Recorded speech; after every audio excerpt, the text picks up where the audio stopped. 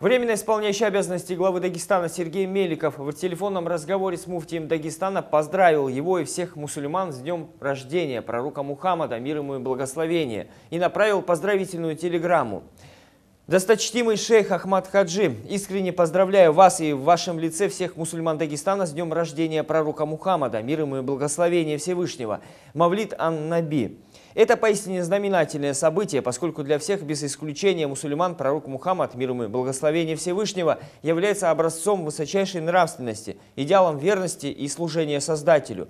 День рождения пророка Мухаммада, мир ему и благословение Всевышнего, служит напоминанием о его великом наследии. Своими благородными поступками он объединял людей, учил их милосердию и терпимости, благонравию и заботе о нуждающихся – Убежден, что, следуя пути пророка Мухаммада, мир ему и благословение, воспитывая на его примерах из жизни подрастающее поколение, мусульмане Дагестана будут и впредь приумножать свои религиозные традиции, способствовать укреплению в нашей республике идеалов добра и справедливости, межнационального мира и согласия. От всей души желаю вам и всем мусульманам Дагестана крепкого здоровья, благополучия и успехов во всех добрых начинаниях.